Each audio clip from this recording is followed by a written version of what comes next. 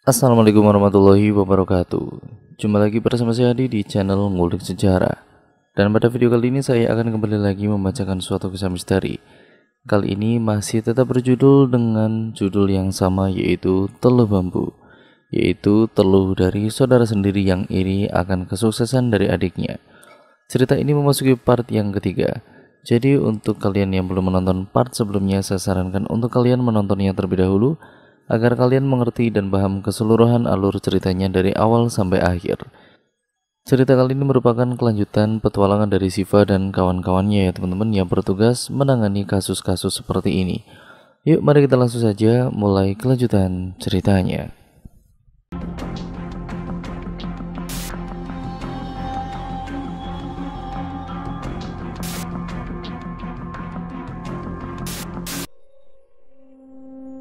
Bismillahirrahmanirrahim. Rosid, Mika, dan juga Raja memulai lebih dulu usaha untuk membentengi seluruh halaman rumah tersebut di bagian paling depan. Tari Siva dan juga Hani juga memulai membentengi halaman belakang. Sementara Patagor kini justru sedang bermain-main sendiri di tangga menuju pintu depan rumah itu. Jonathan mengawasi mereka dari jendela kamar Tanjung. Rianti masih berada di sisi suaminya yang kini benar-benar tertidur pulas. Bang Tanjung tampaknya lelah sekali ya bang, ujar Rianti kepada Jonathan. Jonathan pun menoleh ke arah Rianti. Ia sama sekali tidak beranjak dari jendela kamar tersebut karena masih ingin memperhatikan kegiatan yang dilakukan oleh keenam anak muda di halaman depan sana. Kalau menurut Dek Siva, suamimu memang akan beristirahat jauh lebih lama karena sudah seminggu terakhir dia kurang istirahat. Mungkin maksudnya suamimu akan menjalani masa pemulihan. Ya, meski saat ini kemungkinan untuk benar-benar pulih masih belum sepenuhnya bisa kita yakini. Setidaknya kita bernafas lega Beberapa saat karena suamimu sudah tidak merintih kesakitan lagi, ujar Jonathan berusaha menenangkan Rianti. Rianti kini menatap ke arah Jonathan. Di wajahnya tampak sekali ada beban yang sedang ia pikirkan, dan Jonathan jelas bisa menduga hal tersebut melalui ekspresi yang dilihatnya. Apakah abang percaya dengan dugaan yang Dek Siva katakan? Maksudku, apakah abang percaya bahwa si pengirim telur itu adalah orang terdekatku dan juga Bang Tanjung? Tanya Rianti kemudian. Tadi aku pun mempertanyakan hal itu, Dek. Bahkan aku sampai nekat bertanya langsung kepada Dek Siva dan juga Dek Raja di luar sana saking tidak percaya pada dugaannya. Tapi dia memberikan aku penjelasan yang sangat detail disertai alasan tentang mengapa dia bisa menduga seperti itu. Hingga pada akhirnya, dia mengatakan bahwa itu hanya dugaannya saja, dan dia menyarankan padaku bahwa sebaiknya aku tidak segera mengambil kesimpulan agar tidak menjadi suuzon terhadap orang-orang yang mungkin aku curigai. Akhirnya, aku sekarang mencoba mempercayai dugaannya itu, dan juga setelah dia memusnahkan pelet yang hendak Rosi gunakan kepada suamimu, Aku rasa kita sebaiknya percayakan saja semuanya kepadanya. Kamu lihat sendiri bukan, suamimu tidak lagi bicara kasar kepadamu setelah tidak terikat dengan pelet dari Rosi. Ya baiknya kita ikuti saja semua prosesnya dengan tenang, tutur Jonathan. Iya, aku juga bersyukur ya karena Dek Siva telah memusnahkan pelet yang Rosi gunakan sebelum terjadi apa-apa di antara Bang Tanjung dan juga Rosi. Aku nggak akan bisa membayangkan bagaimana rumah tanggaku akhirnya kalau sampai ada apa-apa antara Bang Tanjung dan juga Rosi di belakangku. Aku percaya Bang Tanjung setia, dia tidak akan menyakiti aku, tapi aku sekarang tidak akan mempercayai lagi siapa pun wanita yang ada di dekatnya. Aku akan meminta Bang Tanjung untuk bekerja dengan staf laki-laki saja, termasuk untuk menjadi sekretaris barunya nanti. Tapi yang paling aku pikirkan saat ini bukan persoalan pelet itu bang. Yang paling aku pikirkan adalah mengenai teluh bambu yang menyerang Bang Tanjung itu. Bagaimana jika telu bambu yang dikirim oleh orang itu akan kembali menyiksa Bang Tanjung? Apakah Bang Tanjung masih bisa bertahan? Tangis Rianti kembali pecah. Perasaannya jelas sangat tersiksa karena melihat kondisi suaminya yang jarang mengalami sakit sebelumnya. Tanjung adalah orang yang sehat yang tidak pernah absen untuk berolahraga. Makanannya selalu terjaga karena Rianti sendiri yang mengatur makanan Tanjung selama ini. Maka dari itu, ketika Tanjung mendadak sakit tanpa alasan, Rianti pun kaget dan tidak siap untuk menangani hal itu sendirian. Untuk itulah dirinya meminta tolong pada Jonathan agar bisa membantunya merawat Tanjung, serta mencari tahu soal sakit yang Tanjung alami. Sabar dek, insya Allah suamimu tidak akan kesakitan lagi setelah semuanya diurus oleh mereka berenam. Aku sudah banyak mendengar tentang mereka dan pekerjaan yang mereka jalani. Alhamdulillah, sejauh ini tidak ada satupun pekerjaan mereka yang mengecewakan bagi orang-orang yang telah mereka bantu. Kita ikhtiar sajalah. Lalu setelah itu kita bertawakal kepada Allah agar Allah memberikan kita kemudahan. Saran Jonathan. Di halaman rumah itu akhirnya pekerjaan pertama yang harus dikerjakan telah selesai.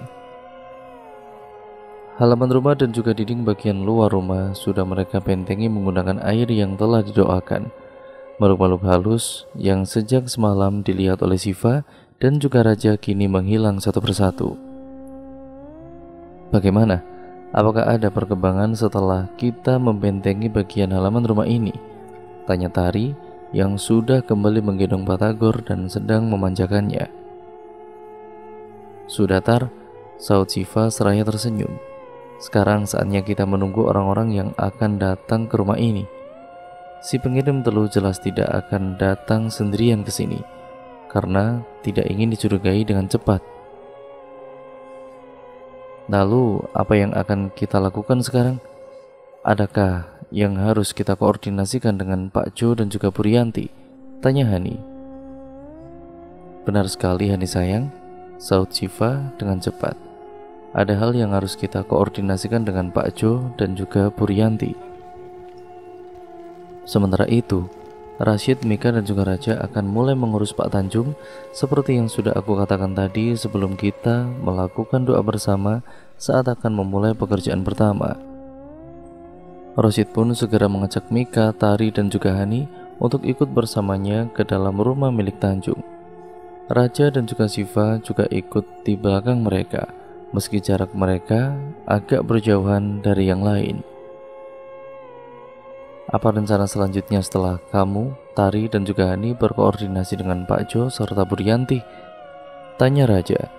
Bersandiwara, jawab Siva. Bersandiwara, Raja tampak sedikit bingung dengan jawaban itu. Siva pun menghentikan langkahnya sejenak dan menatap ke arah Raja seraya tersenyum cerah. Ia bersandiwara, hanya dengan bersandiwara maka kita akan bisa membongkar topeng si pengirim telu bambu itu dia tidak akan merasa curiga kepada kita, dan pada saat itulah dia akan melucuti topengnya sendiri di hadapan kita nantinya. Raja mendengarkan dengan seksama dan merasa sangat menikmati penjelasan yang sedang Siva berikan pada saat itu. Ikuti saja saran Siva.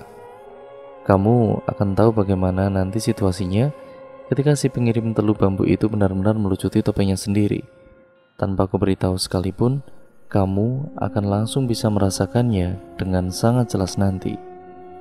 Oke, kalau begitu, tanggap raja. Akan aku ikuti semua yang kamu arahkan, tapi kamu jangan jauh-jauh dari aku, dan kamu harus menepati itu. Insya Allah akan aku tepati. Ayo masuk, Rosi dan juga Mika membutuhkan bantuan kamu saat ini untuk mengurus Pak Tanjung. Ajak Siva.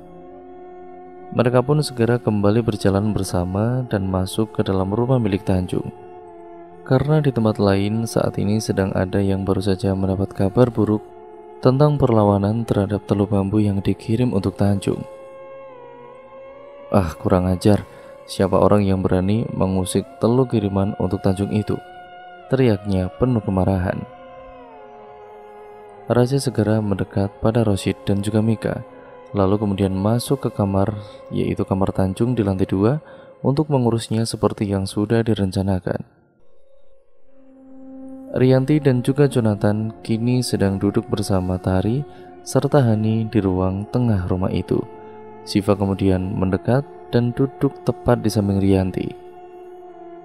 Rianti menatapnya dari dekat, lalu Siva pun segera meminta izin untuk memegang kedua tangan Rianti. Siva diberi izin, Jonathan mulai memperhatikan ketika Siva membuka kedua telapak tangan adiknya. Siva membacakan doa lalu meniup kedua telapak tangan Rianti sebanyak tiga kali. Mohon maaf, salah Jonathan. Kalau boleh aku tahu, untuk apa Dek Siva melakukan hal barusan itu kepada adikku? Untuk menghindari serangan goib yang tidak terduga Pak Jo, jawab Hani. Hal pertama yang dilakukan oleh seorang tamu ketika datang ke rumah seseorang adalah berjabat tangan dengan orang yang dia tuju. Maka dari itulah Siva membentengi diri Purianti melalui kedua telapak tangannya. Jika ada serangan gaib yang akan diberikan kepada Purianti ketika berjabat tangan dengan orang-orang yang datang ke sini, maka insya Allah Purianti akan tetap aman. Siapa pun yang mengirim telur bambu kepada Pak Tanjung, jelas juga ingin membuat Purianti merasakan hal yang sama. Jelas Tari. Jonathan pun mengangguk-anggukkan kepalanya setelah mendengar penjelasan mengenai apa yang dilakukan oleh Shiva. Siva pun kini memberi tanda pada Tari untuk segera menjelaskan pada Rianti dan juga Jonathan mengenai rencana mereka. Begini Bu Tari memulai. Kami sudah selesai melakukan pekerjaan pertama yaitu membuat Pak Tanjung berhenti merasakan sakit pada seluruh tubuhnya dan membentengi halaman serta rumah ini agar terhindar dari kiriman-kiriman makhluk-makhluk tidak kasat mata yang dikirim oleh si pengirim telur. Selanjutnya, setelah Pak Tanjung tidak lagi merasa kesakitan dan makhluk-makhluk tidak kasat mata itu pergi dari sini, maka si pengirim telur bambu itu akan mulai merasa penasaran tentang siapa yang sudah berani mengusik kegiatan menyenangkan yang dia lakukan terhadap Pak Tanjung. Maka dari itu, kita harus bersiap-siap untuk menyambut siapa pun yang akan datang ke rumah ini. Intinya, orang itu tidak akan datang sendirian ke sini dan akan membawa orang lain bersamanya. Dia jelas tidak mau Brianti langsung tahu kalau dirinya adalah orang yang sudah mengirimkan telur bambu pada Pak Tanjung. Rianti tampak gugup dan sesekali menatap ke arah Jonathan. Jonathan sendiri terlihat berusaha menenangkan dan juga menguatkan adiknya. Seakan Jonathan mengatakan bahwa sebaiknya Rianti mengikuti semua yang dikatakan oleh Tari pada saat itu.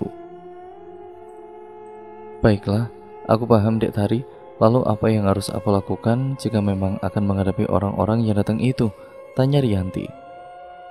Purianti ya bersikap wajar saja seperti biasanya.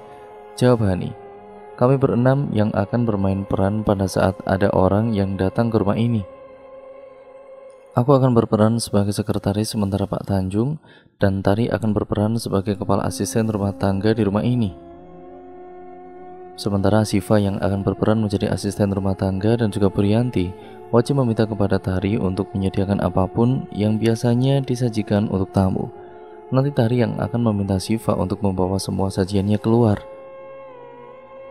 Dan apa yang akan dilakukan oleh ketiga rekan pria kalian pada saat itu? Tanya Jonathan. Rosid akan berperan sebagai tukang kebun. Dia akan ada di samping rumah bersama Pak Jo dan juga Pak Tagor. Mega akan berperan sebagai asisten khusus Pak Tanjung, sementara Raja akan berperan sebagai sopir. Dan hal itulah yang akan dia gunakan akhirnya ketika akan mengikuti orang yang mengirim telur bambu kepada Pak Tanjung bersama dengan Shiva. Mereka akan berperan penuh dalam urusan sandiwara ini. Jawab Tari. Tunggu, Batagor. Maksudnya, kami akan makan Batagor di samping rumah. Tanya Jonathan lagi. Tari dan juga Hani meringis kompak saat mendapat pertanyaan seperti itu dari Jonathan. Patagor itu nama kucingku dan juga Rosid Pak Jo. Jawab Tari. Oh, kucing cantik yang mahal itu namanya Patagor. Sama seperti nama makanan ya. Jonathan tambah heran. Namun keheranan itu segera dihentikan oleh Rianti yang masih ingin banyak bertanya. Tapi semua orang tahu kalau aku tidak pernah mempekerjakan siapa pun untuk mengurus rumah ini.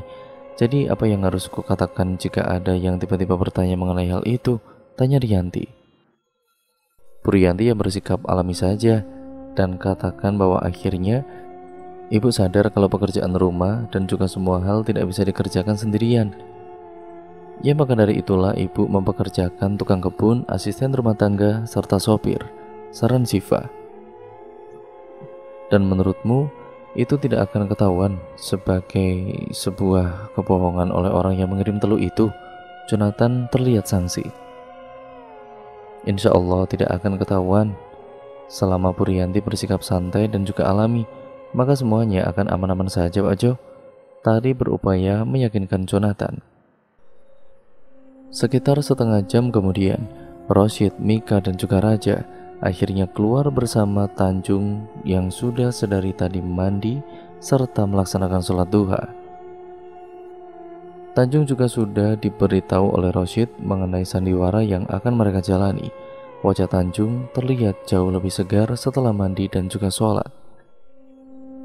Rianti pun mendadak gemetar saat menyambutnya di lantai bawah saat melihat kondisi Tanjung yang sudah bisa kembali berjalan meski masih perlahan-lahan. Tanjung tersenyum dan langsung menghapus kenangan air mata pada kedua mata Rianti. Mereka pun segera berjalan bersama menuju ke sofa yang ada di ruang tengah rumah itu. Aku sudah dengar soal Rosi. Aku benar-benar tidak menyadari apa-apa saat dia menggunakan pelet terhadapku. Aku harap jika ada sikapku yang sangat keterlaluan kepadamu, maka kamu akan memaafkan sikapku itu ya dek. Demi Allah, aku tidak pernah sama sekali berniat untuk menyakitimu. Bahkan saat aku di luar bersama Rosi selama ini, tidak pernah satu kali pun aku punya niatan untuk main gila dengannya. Aku selalu berada jauh darinya dan aku selalu mengusahakan hal itu selama dia bekerja bersamaku, ujar Tanjuk tampak sangat menyesal karena pernah mempercayai Rosi. Iya, aku paham bang. Aku juga yakin kalau abang tidak akan pernah menyakiti aku. Akhirnya, ya mulai sekarang, sebaiknya abang bekerja saja dengan karyawan laki-laki. Kita tidak pernah bisa menebak hati manusia bang. Bahkan sakitnya abang saat ini pun menurut Dek Siva adalah kiriman dari orang yang terdekat kita sendiri. Demi Allah, aku ingin sekali tidak mempercayai dugaan itu, Bang. Tapi, ya kamu tahu kan, betapa aku sangat menghargai keluarga besarmu ataupun keluarga besarku. Tapi melihat betapa yakinnya Dek Siva dengan dugaannya itu, mau tidak mau aku harus mencoba mempercayainya. Dan kalau sampai terbukti, Bang, aku jelas tidak akan tinggal diam. Aku akan membuatnya membayar tindakan jahatnya terhadap Abang janji Rianti. Tanjung pun kemudian mengangguk-anggukkan kepalanya, lalu segera mendekap Rianti sambil menangis. Siva menutup kedua matanya saat merasakan ada hawa yang berbeda yang kembali muncul di sekitaran rumah itu. Kuntilanak itu kembali lagi, ujar Siva. Mungkin si pengirim teluh bambu itu sudah hampir berada di dekat sini, tambahnya tanpa ragu. Rere benar-benar kesal setelah mendengar saran dari Faris untuk tidak menggugurkan kandungannya. Padahal diam-diam dirinya sudah merencanakan hal itu. Jika memang pada akhirnya Vano tidak akan bertanggung jawab atas bayi yang sedang ia kandung. Dirinya padahal berniat akan melakukan hal itu diam-diam tanpa sepengetahuan kedua orang tuanya. Tetapi karena Faris memberikan saran seperti tadi, Kini kedua orang tuanya terus memperingatkan agar ia tidak menggugurkan kandungannya. Ingat, kamu jangan sampai membuat kesalahan lainnya setelah melakukan kesalahan yang lalu. Kami akan langsung membuang kamu dan tidak akan pernah mengakui kamu sebagai anak lagi jika kamu berani menggugurkan kandunganmu itu, tegas Harun. Itu jelas benar. Jangan buat kami terseret lagi ke dalam masalah yang kamu buat. Kamu itu benar-benar anak tidak tahu diuntung. Selalu saja bikin masalah, selalu saja bikin kami susah. Aku juga jelas heran, Kenapa aku tidak melahirkan anak yang sifat dan juga sikapnya seperti Siva? Kenapa malah anak pembawa sial ini yang harus lahir dari rahimku? Benar-benar buruk nasibku karena harus melahirkan dan juga membesarkan anak seperti kamu. Ungkap Anita terlihat merasa muak terhadap Rere anaknya. Rere jelas merasa semakin sakit hati setelah mendengar apa yang ibunya ungkapkan saat itu. Ia tidak paham mengapa dirinya harus selalu dibanding-bandingkan dengan Siva oleh kedua orang tua kandungnya sendiri. Mereka benar-benar tidak pernah bersyukur karena memilikinya. Mereka hanya menjadikannya bahan hinaan setiap harinya dengan cara membandingkan dengan Siva. Andai kamu tidak mencoba menjebak Gani, maka kamu sekarang sudah menjadi menantu keluarga Pareksa. Vano dan juga mamanya sudah menerima kamu kok kamunya malah begitu. Eh, kamu malah yang bermain api dan juga malah mencoba-coba menjebak Gani. Dasar anak enggak tahu malu. Murahan kamu. Hardi Garun sambil melemparkan majalah ke wajah Rere. Dia itu benar-benar anak kita kan, Pak? Enggak tertukar kan? Waktu mama melahirkan di rumah sakit, kok rasanya dia itu janggal sekali buat aku. Seperti aku tidak punya ikatan batin sama dia, pikir Anita. Kalau kamu ragu, langsung saja tes DNA, saran Harun. Toh dia bukan seperti bayi yang ada di dalam kandungannya saat ini yang masih bisa diragukan. Sehingga tidak bisa dilakukan tes DNA oleh keluarga Pareksa untuk memastikan kalau itu adalah anaknya Vano atau bukan. Hati Rere terasa seperti diremas kuat oleh sesuatu. Kedua orang tuanya benar-benar menunjukkan kalau mereka tidak bisa menerima takdir bahwa mereka memiliki anak seperti dirinya. Hanya karena perkara Rere tidak sesantik Siva, hanya karena Rere tidak sepintar Siva saat masih sekolah, hanya karena Rere tidak berbudi halus dan sopan seperti Siva Anita dan juga Harun bukan hanya merasa iri dengan kekayaan serta kejayaan yang dimiliki oleh keluarga Adinata. Mereka juga merasa iri karena Faris dan juga Mila memiliki anak seperti Siva. Sementara mereka justru memiliki anak seperti Rere. Mereka benar-benar tidak bisa menerima takdir yang selalu berharap bisa bertukar posisi dengan Faris dan juga Mila. Sudah, pergi sana ke kamarmu, bentang Anita. Ingat, jangan coba-coba menggugurkan kandunganmu. Kalaupun Vano bereksa tetap tidak mau bertanggung jawab atas anak itu, maka kami akan menjualnya ketika dia lahir nanti. Di luar sana banyak kok yang ingin memiliki anak dan siap membayar mahal. Jadi, jaga kandunganmu agar tetap sehat. Rere pun segera bangkit dari sofa dan beranjak menuju kamarnya. Ia menutup pintu kamarnya dengan rapat serta menguncinya. Ia benar-benar merasakan sakit dan tidak bisa dijabarkan dengan kata-kata. Kedua orang tuanya tidak berubah, tidak pernah berubah sama sekali, dan selalu membencinya semakin parah daripada dulu. Aku benar-benar lelah karena tidak pernah bisa mendapatkan keinginanku. Aku membuat masalah karena ingin mendapat perhatian mereka tapi nyatanya mereka justru semakin menjauhiku sekarang dan bahkan terlihat sangat jijik terhadapku. Aku harus mengakhiri semua ini. Aku harus mengakhiri semuanya. Batin Rere merasa muak dengan keadaan di sekelilingnya. Pesan dari ibu. Rere tadi ke sini bersama tante dan juga om kamu. Entah apa tujuan sebenarnya dari kedatangan mereka tadi, tapi mereka benar-benar tidak punya kesempatan untuk menyampaikan tujuan kedatangan mereka sama sekali. Ayahmu memberikan jawaban-jawaban lugas seperti biasanya, bukan hanya karena tidak ingin ikut campur, tapi juga karena ayahmu tidak suka hari liburnya harus terganggu dengan kedatangan mereka.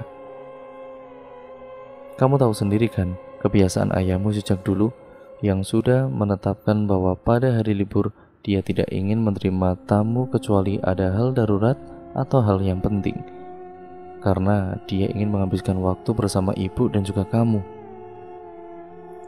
Ayahmu selalu senang menerima tamu di rumah jika itu bukan pada hari libur. Oh iya, bagaimana kabarmu sekarang saat ini sayang? Apakah kamu punya berita untuk ibu tentang keadaanmu? kondisimu, dan juga situasi di tempatmu bekerja saat ini. Siva akhirnya selesai membaca pesan yang ia terima dari ibunya ketika raja muncul di sampingnya. Raja tidak mempertanyakan tentang pesan siapa yang baru saja Siva baca. Namun entah mengapa, Siva rasanya tidak ingin menyimpan sendiri apa yang kini menjadi bahan pikirannya yang baru. Ada apa? Tanya Raja. Aku baru saja membaca pesan dari ibuku. Jawab Siva. Ibumu menanyakan kabarmu, kondisimu, dan juga ingin tahu di mana keberadaanmu saat ini. Tebak Raja. Siva pun kemudian mengulum senyumnya selama beberapa saat. Ya, sebagian dari isi pesannya memang seperti tebakanmu, dan sebagian lagi isinya menjadi beban baru untukmu, dan kamu mulai kepikiran. Um, iya, begitulah. Um, kalau aku cerita, apa kamu mau mendengarkan? Tanya Siva. Iya, tentu. Jawab Raja dengan cepat. Aku akan selalu mendengarkan jika kamu mau bercerita. Aku tidak akan mengabaikanmu, insya Allah. Siva pun kemudian mengangguk-anggukkan kepalanya setelah mendengar jawaban dari Raja. Saat kita selesai bekerja, Insya Allah aku akan cerita sama kamu. Jadi tolong siapkan telinga kamu dengan baik. Jangan coba-coba tidak tepati janjimu. Pinta Siva. Raja pun kemudian mengangguk seraya menahan senyumnya. Mereka berdua kembali mendekat pada yang lainnya untuk menunggu kedatangan yang akan datang ke rumah itu. Rashid benar-benar mengawasi Siva dan juga Raja namun ia sama sekali tidak menemukan adanya sinyal bahwa kedua insan tersebut memiliki hubungan istimewa yang lebih dari sekedar hubungan pertemanan. Namun entah mengapa Hani dan juga Mika justru yakin. Ya dia ataupun mereka yakin sekali jika ada sesuatu di antara mereka. Padahal hubungan Raja dan Shiva masih terlihat sangat wajar. Kamu sedang memikirkan apa? Tanya Tari berbisik. Siva dan juga Raja Aku sedang memperhatikan mereka dan menebak-nebak soal hubungan mereka seperti yang Ani dan juga Mika lakukan. Jawab Roshid ikut berbisik. Memangnya kenapa dengan hubungan mereka? Kamu tidak setuju kalau mereka punya hubungan yang lebih dari sekedar teman? Tebak Tari. Bukan itu, aku hanya ingin memastikan apakah mereka benar-benar punya hubungan lebih dari teman atau tidak. Kalau memang mereka punya hubungan yang lebih dari sekedar teman, ya maka aku akan menyarankan pada mereka untuk segera menikah. Pekerjaan kita ini membuat kita selalu jauh dari keluarga dan hal itu akan menimbulkan fitnah nantinya. Ya maka dari itulah, dulu aku langsung menikahi kamu saat sadar bahwa aku punya rasa yang lebih dari teman. Aku nggak mau kita terkena fitnah. Jelas Roshid, agar Tari paham dengan maksudnya. Pintu gerbang rumah Tanjung dibuka oleh raja saat ada sebuah mobil yang datang sekitar pukul 9 pagi itu. Orang-orang di dalam mobil tersebut menatap ke arah raja setelah keluar dari mobil yang baru saja parkir di dekat mobil milik Tanjung. Mereka jelas merasa sangat asing dengan raja, sehingga menatapnya sangat lama seakan membutuhkan penjelasan. Rianti keluar dari rumah bersama Tari yang sedang berperan sebagai kepala asisten rumah tangga untuk menyambut orang-orang yang datang tersebut. Raja sudah mengamati mereka satu persatu di halaman rumah. Ia juga sudah melaporkan hasil pengamatannya tersebut kepada Shiva yang pada saat ini ada di dalam rumah. Orang-orang yang datang itu benar-benar berjabat tangan dengan Rianti, seperti yang sudah diduga oleh Shiva. Tari, dan juga Hani. Rianti mengamati mereka dengan tenang dan ramah seperti biasanya. Orang-orang yang datang itu adalah pihak keluarga dari Tanjung sendiri, sehingga membuat Rianti semakin tidak sabar ingin tahu mengenai pelaku pengirim teluh bambu yang sebenarnya. Syukurlah kalau kamu dan juga Tanjung selalu sehat. Eh, ngomong-ngomong, siapa tadi yang membukakan kami gerbang itu, Dek? Dan juga siapa itu yang menunggui kamu di ambang pintu? Oh, yang membukakan gerbang itu sopir keluarga kami, Kak Erin. Sementara yang ada di belakangku ini adalah kepala asisten rumah tangga di rumah kami. Jawab Purianti. sesuai dengan apa yang sudah direncanakan tadi. Oh, jadi sekarang kalian sudah memakai jasa sopir dan juga asisten rumah tangga rupanya. Kenapa? Sudah tidak bisa mengurus rumah sendiri ya? Katanya dulu Kak Rianti adalah perempuan mandiri. Kok sekarang sepertinya mulai menjadi manja? Gus, kamu itu bicara apa, Rak? Kalau Rianti mau pakai jasa sopir dan juga asisten rumah tangga, ya memangnya kenapa? Dia juga sesekali butuh istirahat dan juga memperhatikan Tanjung lebih dari biasanya tegur wanita yang tadi dipanggil Erin oleh Purianti. Betul itu Kak Dira, lagi pula yang menggajikan Kak Rianti, dan dia tidak membebankan kakak untuk urusan itu. Kenapa pula kakak harus mempertanyakan soal mandiri atau tidak? Memangnya Kak Rianti tidak boleh beristirahat sesekali, tegur wanita lainnya yang ada di samping wanita bernama Erin. Dira wanita yang menyindir Rianti langsung terdiam sambil memutar kedua bola matanya, seakan merasa kesal saat Rianti dibela oleh orang-orang di sekitarnya. Suami Dira yang sejak tadi hanya memperhatikan keadaan sekitar, kini merangkul istrinya agar tidak lagi banyak bicara. Maafkan istriku Kak Erin, Derania, dia hanya sekedar buang-buang kata saja. Dia tidak bermaksud menyindir Kak Rianti sama sekali kok. Suruh istrimu tutup mulutnya Ren. Suruh dia sekolah lagi kalau perlu Biar dia tahu apa itu adab Tita Erin. Tampak benar-benar kesal pada Dira. Iya benar itu Bang Reno Supaya Kak Dira sadar Dan bisa bersikap sopan saat bertamu ke rumah orang lain. Tambah Rania Jauh lebih lembut daripada Erin. Mendapat sindiran seperti tadi Rianti pun kemudian hanya tersenyum dengan tenang Sebaiknya mari kita masuk ke dalam. Bang Tanjung sedang bicara santai dengan sekretarisnya di ruang tengah. Jadi kalian tentu bisa langsung bertemu dengan Bang Tanjung di sana. Ajak Rianti. Iya sebaiknya memang begitu dek. Daripada aku kesal tidak berujung gara-gara kelakuan Dira yang seperti orang tidak berpendidikan, tanggap Erin dengan cepat. Dia tampak kesal dengan pembelaan yang Erin dan Rania tunjukkan kepada Rianti. Namun, sebisa mungkin, Reno berusaha membuatnya tenang agar tidak perlu marah-marah berlebihan di depan keluarga. Suami Erin dan juga suami Rania hanya bisa menggeleng-gelengkan kepala saat melihat ekspresi Dira saat itu. Heran kenapa Bang Reno memilih menikahi perempuan seperti Kak Dira ya bang? Punya kelebihan juga tidak, bisanya hanya sinis kepada orang lain. Tidak habis pikir aku, ungkap Riko, suami Rania. Ya entahlah, dari kita empat bersaudara memang cuma Reno yang pikirannya tidak bisa dimengerti. Bahkan mama dan juga papa pun sering mengatakan begitu tentang Reno saat sedang menghadapi Dira yang sikapnya itu benar-benar aneh. Tanggap Dudi, suami Erin. Tari bisa mendengar semua itu dengan jelas, meski mereka berupaya bicara sepelan mungkin, Tari pun segera melaporkan hal itu pada Shiva melalui ponselnya. Mereka yang berkunjung pagi itu tampak senang saat melihat Tanjung yang sehat walafiat.